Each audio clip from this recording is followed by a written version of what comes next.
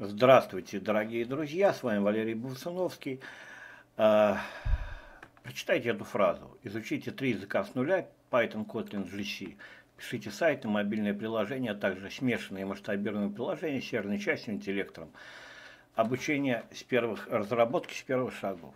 Итак, ребята, да, возможно, вы себе представили, что это навряд ли возможно. А я в течение этого видео вам покажу и докажу, что это вполне реально. Итак, э, смотрим сюда. Сначала боимся, потом не будете бояться. 500 строк кода в день. Много? Вроде много. Но сейчас будет более страшная цифра. 7000 строк кода в месяц. Страшно? Страшно. Черта с два, ребята. Вы, не... Вы ошиблись. Вот я готовил задание. 500 строк кода с комментариями. Вот готовил э, тему последнюю по функциям. Здесь почти 150 строк кода. Это 2 часа. Ну, значит, все-таки 240 строк кода легко. Покажу как. Теперь, э, давайте посмотрим, почему. Реально выучить язык. Выучить язык и стать профессионалом. Вы знаете, я первый язык учил C, потом у меня был Python. Это было в 2009 году. В 2000, с 2013 я начал вести школу. Сначала у меня был подход, в принципе, как и, и у всех. Я начинал со строк и так далее, и так далее. Это работает плохо. Человек не может собрать в голове, когда он начнет писать код. Поэтому с 2017 года я задумал выращивать профессионалов. Теперь я вам покажу, что ну, в этой школе есть то, что нет других. Это 100%. На сегодняшний день переделал сайт. Э, мы начали с функций. Все э, банально просто. Давайте посмотрим. Python, Kotlin GC. Да? Посмотрим сейчас. Теперь сам смысл. Вот смотрите. Функции тотально. Итак, примерно 7 страниц. Еще это у нас сейчас 33 урок. Вот эта тематика будет уроков 10, где-то 43. Под 50 уроков. Что мы делали 50 уроков? 50 уроков мы делали всего лишь одно. Мы изучали только параметры и вызов функций. Кроме этого, мы изучали исключения. Зачем? А вот давайте э, подумаем, да, э, э, если открыть язык, да, вообще сайт, то там будет куча информации. Она вас может совершенно не касаться. Ведь не имеет значения, сколько на сайте информации. Имеет значение, что вы будете использовать. А давайте вот здесь вот почитаем. Сейчас, секунду. Не почитаем, а подумаем. Вот у нас обычная функция, да?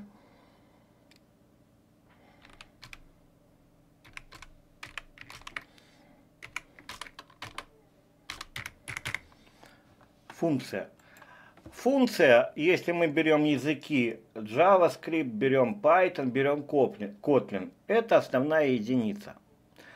Ребят, э, я показал, что функцию можно сразу, вот придя в язык с нуля, уже знать на отлично.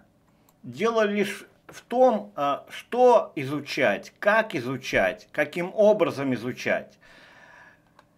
И если э, делать как мы с вами взяли здесь, да, просто я с вами прошел от нуля, э, и мы с вами изучали всего лишь параметры и вызов функции при помощи аргументов, да, но мы взяли все аспекты. На выходе я э, рекомендую вам требовать от себя, чтобы вы знали, даже в голове представив, какие бывают позиционные, с ключевыми словами, как вызывать. То есть все это есть в уроках. но вы э, требуете от себя, чтобы вы знали, только посмотрев на функцию, вы четко понимали, как ее вызвать, что она принимает, что передает. Без этого э, ничего дальше не будет толкового. Кроме этого, э, все исключения, которые мы получали, да, вы должны четко знать. То есть я вот делаю так, например, да, и вас буду учу в этих уроках. То есть я еще не вызвал функцию. Но я уже говорю, что сейчас будет исключение. У вас не должно быть у участников школы, то, кто будет принимать мой метод, э, такие вещи, э, там не, не указаны позиционные аргументы. Этих вещей не должно быть. Это говорит о том, что человек пролетел функции. Когда изучены э, работа функции, скажите, Python – у меня такой вопрос. Как вы считаете, если я возьму Kotlin, да, у меня возникнут вопросы? Нет. Увидите. Пройдете уроки, увидите. Хорошо, открываем Kotlin. Скажите, пожалуйста, ну да, другой синтаксис. Но на самом деле э, те же функции в Python, они намного сложнее, чем в Kotlin. Kotlin язык со статической типизацией, здесь все просто – они вам сразу все определили. У нас вызывается все как в Паскаль. Значит, если мы изучаем функции Python, но надо один язык выучить так, чтобы э, не то, что вот я изучил функции, э, вот отвлекся от компьютера, пошел в магазин, и я туго могу вспомнить, что я там вообще делал. Значит, вы ничего не делали. Ребят, 240 строк кода в день. Вот я готовил занятия, уже 150. 240 строк. И поверьте мне, что вы э, будете примерно писать так и рассуждать так же. Хорошо, вы будете после этих уроков, когда пройдете, знать, сейчас я пишу там аргумент, написал слово просто, я точно знаю, что это позиционный аргумент. Дальше я написал, э, там два. Это я знаю, что у меня э, это э, значение по умолчанию. Я, я знаю точно, что если я сейчас напишу arc2 здесь, то э, функция выдаст ошибку. По одной простой причине, потому что не могут быть позиционные аргументы после аргументов с ключевыми словами. Я точно знаю, я просто говорю, вот как вы будете рассуждать. Сейчас ошибки не будет. Я точно знаю, что как я могу вызвать. Если я вызову MyFun, я уже знаю вот так, без, без параметров, то я получу ошибку. Отсутствует один, один позиционный аргумент. Правда? Правда. И если вы потом набираете изучаете язык год, ребята, и набираете, когда у вас такие вещи, и пытаетесь найти ошибку, ребят, это очень плохо. Это страшно плохо. Зачем тогда что-то делать? Ребят, ведь все просто. Я к этому пришел, да, через 11 лет. Э, как э, преподаватель я понял, что надо дать работу функции с иголочки от и до. Почему? а потому что в голове появляются ключи. Скажите, пожалуйста, вот представьте себе дачника, который едет на дачу, да? Ведь дачник как рассуждает? Э, как он построит теплицу, какая у него там земля, какие удобрения. Он рассуждает, потому что у него есть э, для этого э, определенные ключи. Земля, теплица, удобрения – если мы пролетели функции и вдруг получаем такую ошибку, и при этом, вы знаете, как баран на нее смотрим, что это за страшное исключение? А, ребят, такого не должно быть. А не должно быть по одной простой причине, что это значит, что человек просто, вот как, знаете, так посмотрел, вот функция пишется так. Тогда, извините меня, ну и дурак этот Бовсуновский нашел в функциях только чтобы понять параметры и как вызывать, нашел, э, чем заниматься вот 33, еще 10, а 47 уроков по 10 минут. Давайте посчитаем. 47 будет где-то примерно умножить на 10 минут, примерно урок 470 разделить на 60 равно, бля, ой, извините, что ругаюсь, мы нашли о чем разговаривать целых 7 часов, но разобрали раз и на всю жизнь.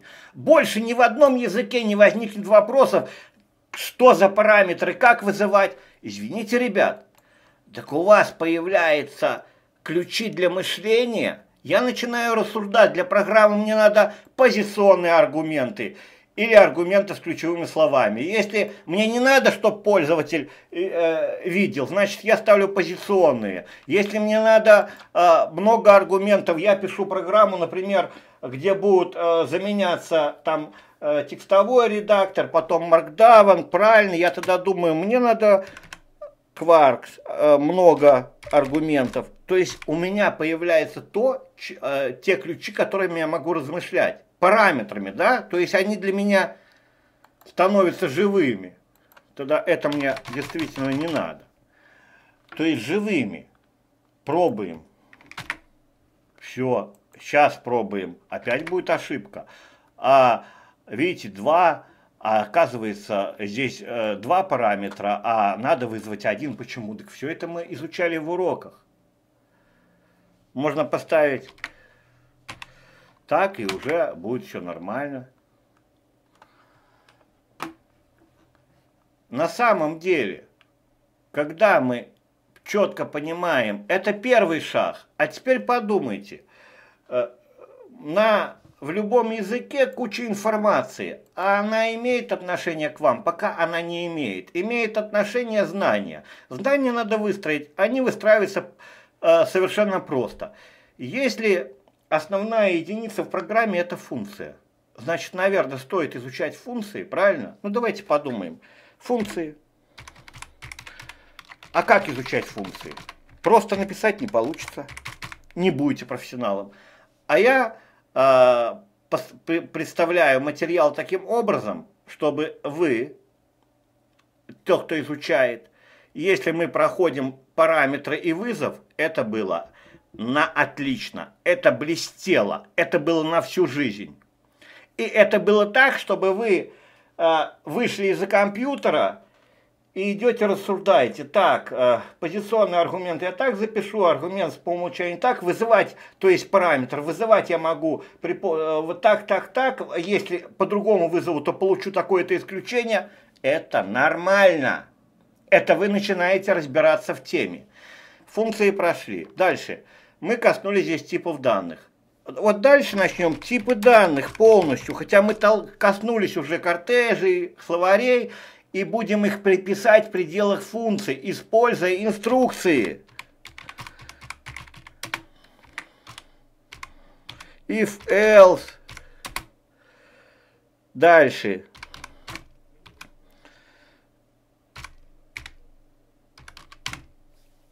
И так далее.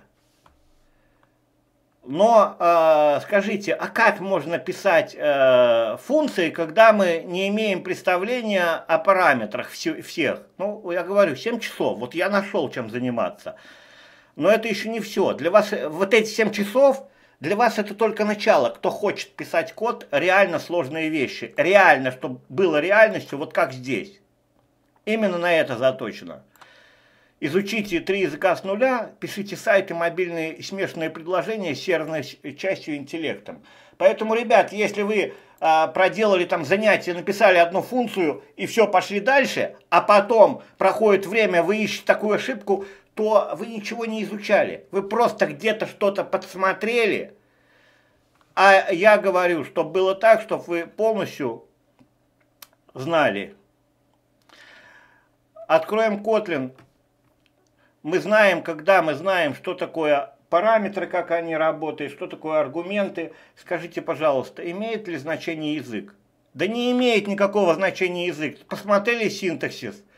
Дальше. Читаем. Все банально просто. Мотаем параметры. Все.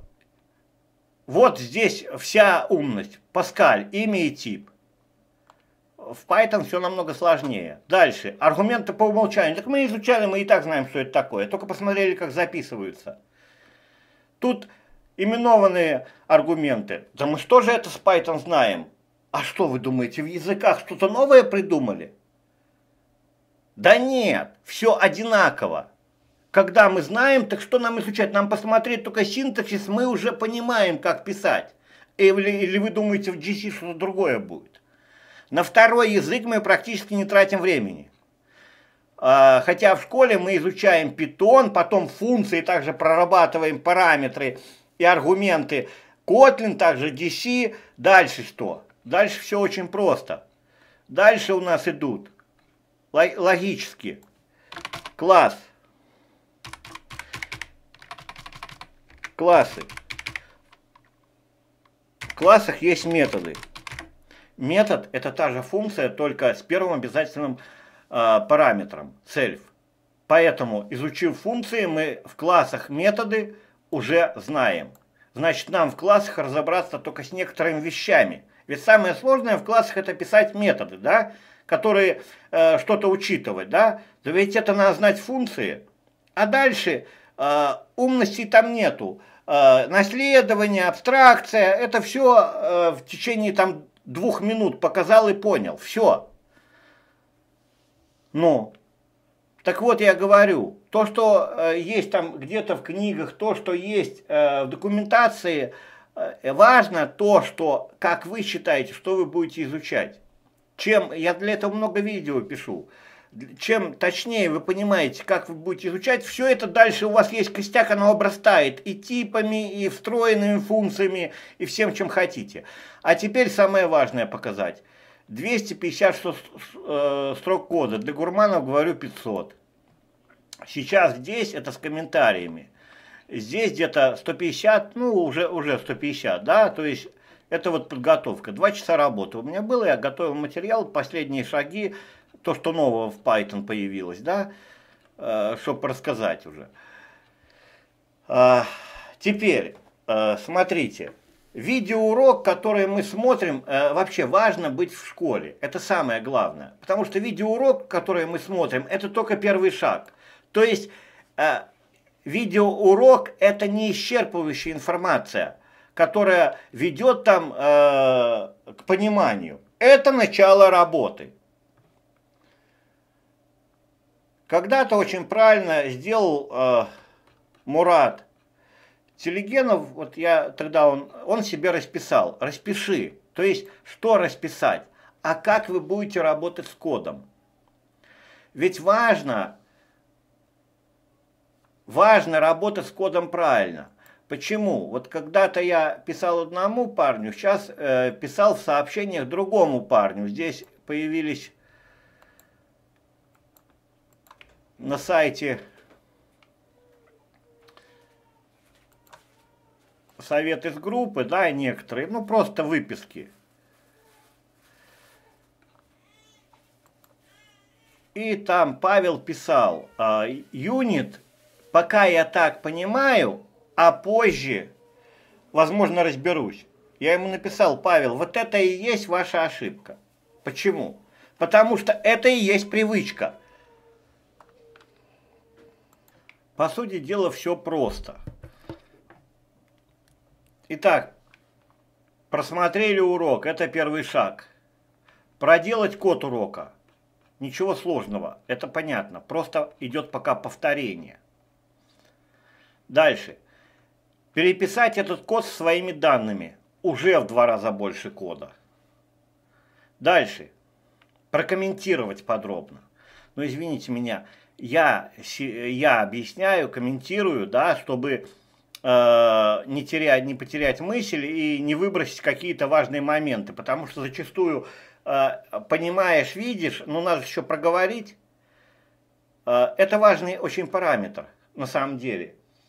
Э, многие как делают? А, понял, побежал дальше. Проходит год. Приходим к результату. Код вижу, писать не могу. А почему? Так это же очень просто, ребят. А вы сколько уделили времени для того, чтобы излагать код? Для того, чтобы э, вот что здесь э, написано. Для того, чтобы проговорить, функция имеет параметры arg – позиционный аргумент, key – аргумент по умолчанию, то есть параметр э, по умолчанию задан. Дальше позиционный аргумент. Данная функция работать не будет, так как позиционные аргументы не могут идти после аргументов с ключевыми словами. Мы получим исключение. Какое исключение? Синтаксическая ошибка. Ошибка синтаксиса. То есть так записываться нельзя. Аргумент не по умолчанию следует по а, умолчанию. Иными словами, позиционный аргумент следует за аргументом по умолчанию, что нельзя. Если вы на это не уделили время, то язык на вас точно времени найдет. Как, он, как ему прорастать, ребята? Это все у вас есть. Ведь я приводил пример, вот в школе есть, э, если с нуля мы в разделе с нуля, что мы делаем? Мы учим языки. В разделе э, становления мы работаем с фреймворками, а в разделе разработка мы нарабатываем конструкции. Декораторы, миксины, if, else. То есть начинаем нарабатывать, думать. Но ведь, э, понимаете, ведь доходит до абсурда. Когда спрашиваешь, ну, напиши декоратор, человек столько математики вложит, да, а сидя вот в комнате, да, или выходя там на кухню попить кофе, у него даже, он, он это не рассматривает, это не вложено, это не тренировалось, что чайник, кофе, чай, это тоже декоратор. Та же кружка, тоже те же действия, то есть та же функция действий. Э, иными словами, взял чайник, закипятил, налил воды, но один раз поместил кофе, другой чай. Так это и есть работа декоратора, только в жизни. Ладно, поехали дальше.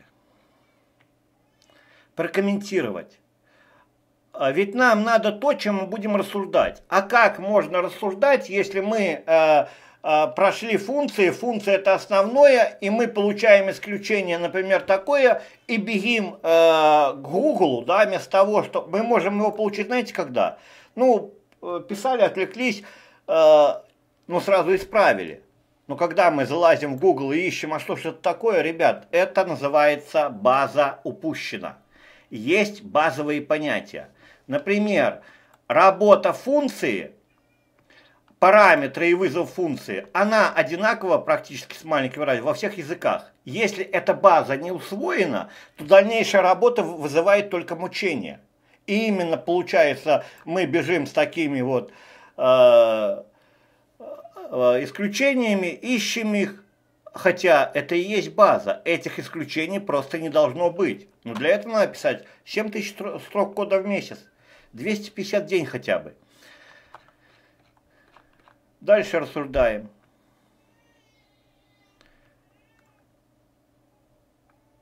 Ведь э, комментирование кода это не только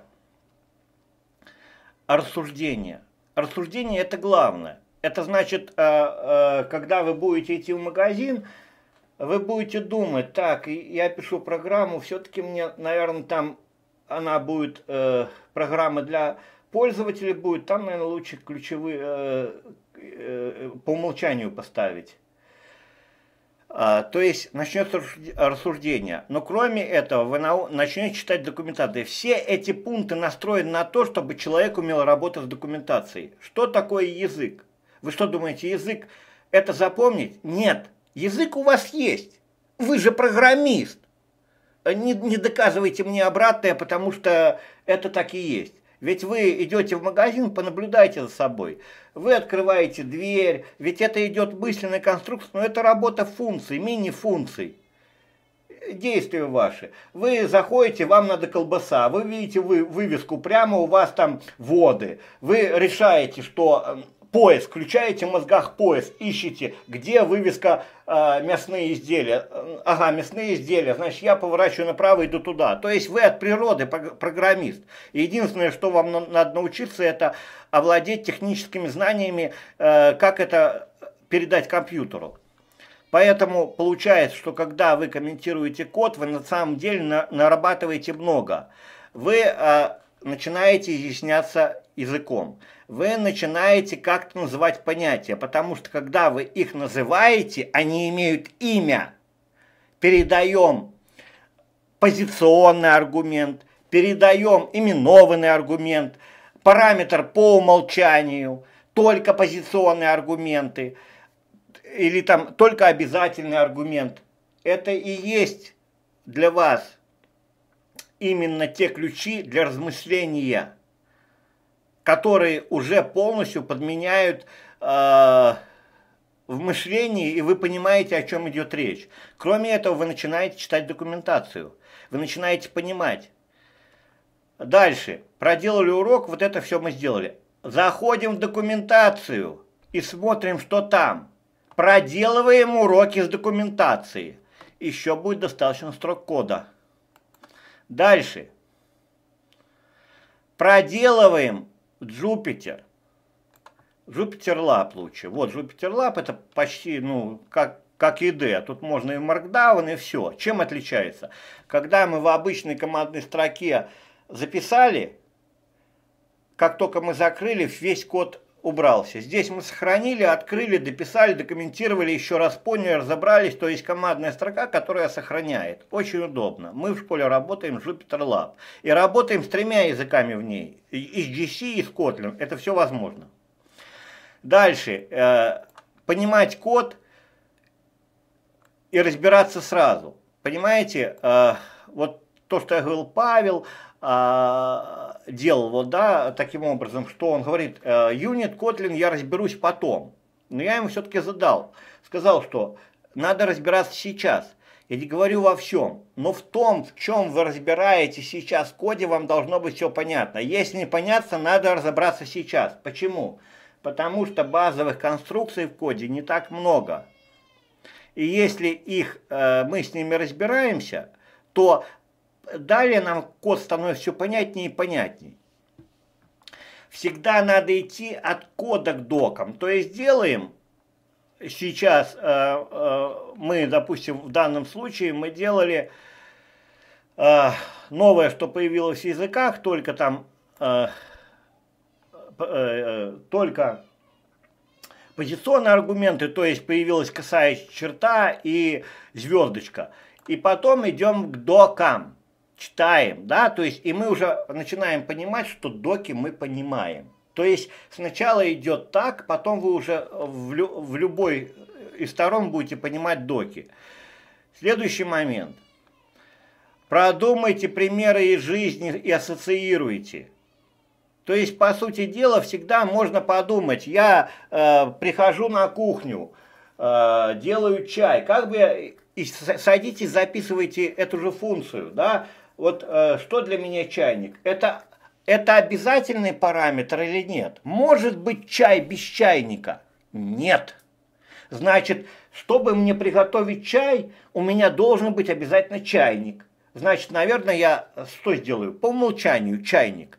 Второе, мне надо сахар, либо не надо, да, э, либо сахар можно поставить, э, ну, кому как. Дальше, чай. Обязательно, чтобы попить чая? Значит, один обязательный, еще один обязательный параметр. Да? То есть продумайте, как бы я э, это сделал. Начинайте ассоциации, потому что именно идти, вот так прорастает язык. Дальше, самое важное быть в школе. Быть в школе, чтобы пропускать эту информацию, работать в группе, получать подсказки. То есть важно э, я не говорю там, чтобы быть там в школе Бувсуновского, что вы скажете, что реклама.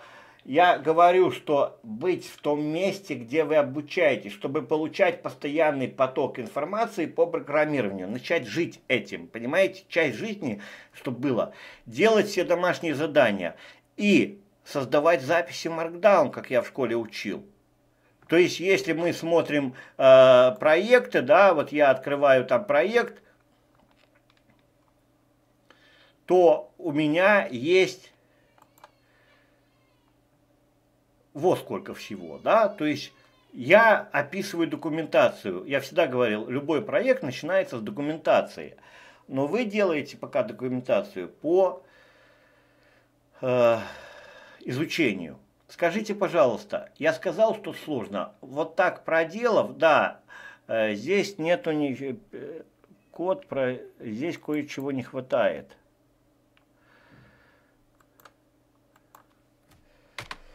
Назовем 3А.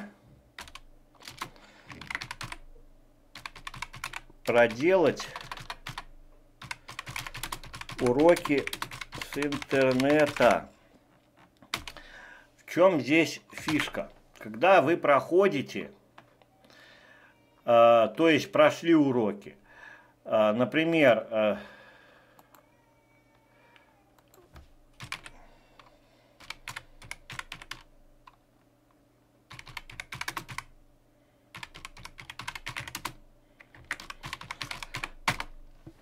вы начинаете еще набирать. То есть у вас э, в данный момент совершенно реально начинает работать то, что вы заложили. Почему? То есть э, вы э, вводите осмысленное название, оппозиционные аргументы, вы их изучали, изучали, вы получаете в по поиске то, что вы уже узнаете, то есть вам это понятно. Это идет закрепление.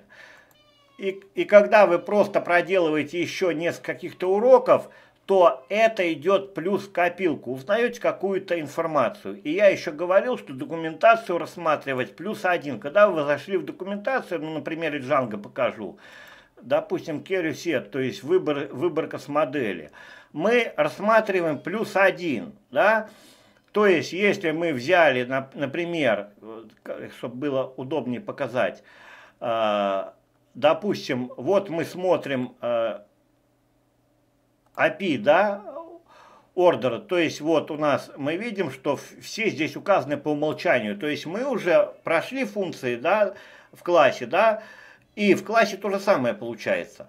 В любом случае мы видим, да, по умолчанию здесь все. И плюс один, смотрим урок, да, то есть плюс один. Э, к документации языка относится это, конечно же, просмотр ПЭП либо э, типа данных.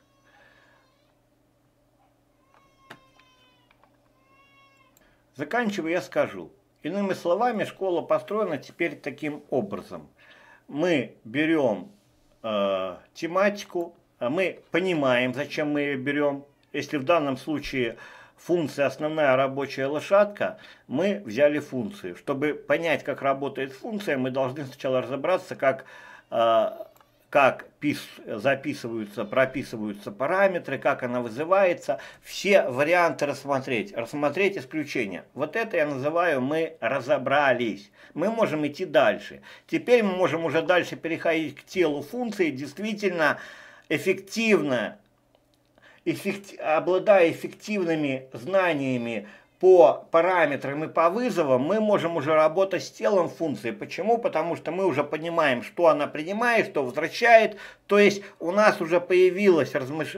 э, мысли, которые названы определенными именами. Да? То есть все параметры, они у нас названы, мы понимаем, что это, мы понимаем, что обозначает, мы понимаем а, варианты, вот тогда мы можем уже рассуждать дальше. Заполнение функций при помощи типов данных. То есть, если мы бы рассуждали на кухне, а, мы бы записывали попить чая, мы могли сделать функцию, то есть уже записывать, ну, тут немножко